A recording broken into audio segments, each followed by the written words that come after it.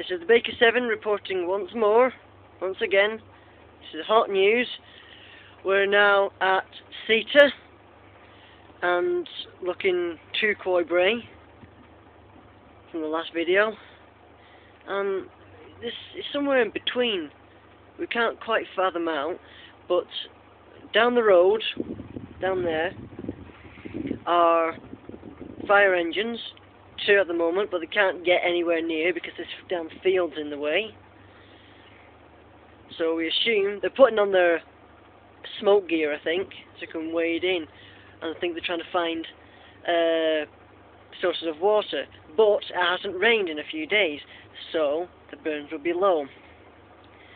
And I don't think a burn is enough to put it out. I don't know if you can see as well as I can, but I can actually see flames. Yeah. Yeah, big flame. Uh, about third big dot in from your screen, I reckon. About three miles away from this. It's about, as Dad says, about three miles away from here. That's just the main bit, and all those little bits over there. It's about two miles across. Two miles, you say? Two miles across? Bloody hell. So, it's, it's getting even darker.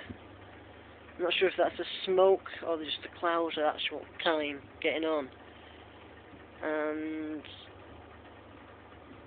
that's hmm, exciting. Let's try some now. Okay, see you soon.